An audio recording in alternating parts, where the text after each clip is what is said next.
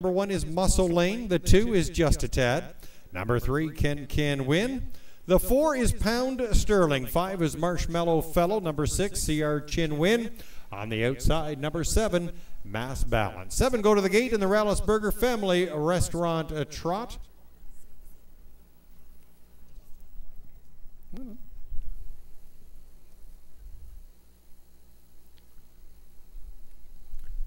Are in the hands of the starter. It's post time.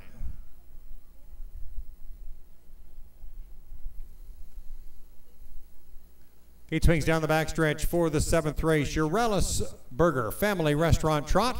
Field picking up speed, and uh, there they go.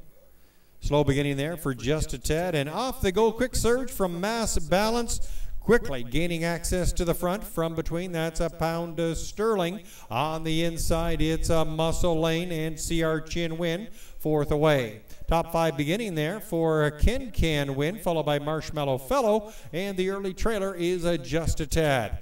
Racing through that uh, first turn, front runner. Jim Gillespie with mass uh, balance. There's Pound Sterling moving up on the outside to challenge at the opening quarter in a time of 28 and uh, 3. Pound Sterling and Per Henriksen. They now lead the way as they come in front.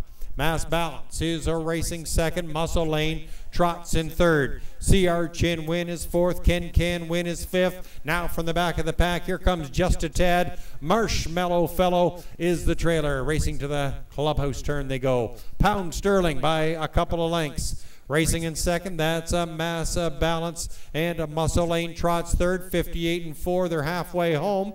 Ken Can Win moving now up from fourth. Now sitting third on the outside.